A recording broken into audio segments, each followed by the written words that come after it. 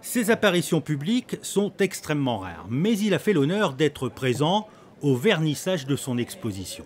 Sur plus de 4000 m2, Robert Combas présente au Grimaldi Forum une centaine d'œuvres majeures des années 80-90. Des œuvres sur les thèmes chers à l'artiste, l'amour, la femme, les batailles, la religion, la mythologie, la musique et les scènes de guerre. Ces tableaux sont un jeu de couleurs, de formes et de motifs. C'est quand même des toiles qui sont très vibrantes et très colorées. Donc, euh, et, comme il y en a beaucoup, euh, ça doit être quand même. Euh, moi, j'étais quand même un amateur de rock dur. Donc, c'est pareil pour moi. Parce que les Français, on n'arrivait pas à faire des trucs vraiment bien en musique, donc je les ai fait en peinture.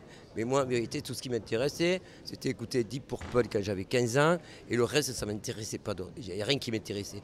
À la limite, je préfère des, groupes de rock que des, que, des peintres.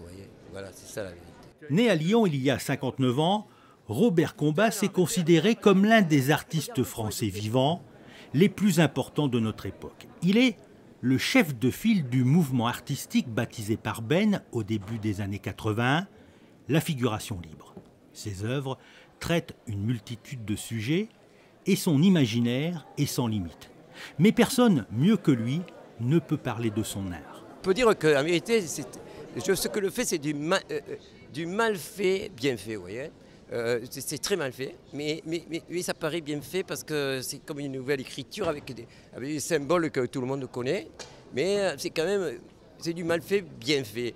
Vous voyez, parce qu'il y a le mal fait mal fait, vous voyez, c'est la daube, c'est une grosse merde, et moi je fais du mal fait bien fait parce que je suis une merde, parce que je suis dans la merde, excusez-moi de le dire, mais maintenant, euh, comme l'alchimie, vous savez, dans la putréfaction naît la rose et Combas joue avec les visages et les corps. Ses personnages en relief sont des tatoués ou des sacrifiés. Son intérêt pour les batailles est né de son enfance, des illustrations des manuels scolaires. Fan de rock et grand collectionneur de vinyles, ses toiles font régulièrement référence à la musique.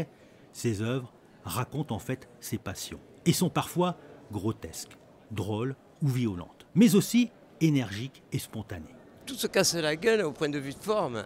Et pourtant, ça marche quand même. Mais pourquoi? Parce qu'en vérité, parce que, parce que, parce que je suis né comme ça. Je suis né comme ça, j'ai de l'imagination. Et après, il paraît que j'ai un peu d'intelligence, mais pas trop. Mais le problème, c'est que j'ai pris toute l'énergie que j'avais pour la mettre sur un seul bloc, ça veut dire cette création-là. Le reste, je le laissais au monde entier. Je ne sais rien faire à part ça. Si j'avais pas fait ça, je serais un clochard, hein, je vous assure tout, de suite. Il n'y a pas 50 solutions. Ou clochard ou peintre. Les toiles exposées proviennent pour la plupart de la collection de Laurence Trouc, de l'artiste et de sa compagne Geneviève. Certaines œuvres sont également prêtées par des collectionneurs. Une exposition à voir jusqu'au 11 septembre.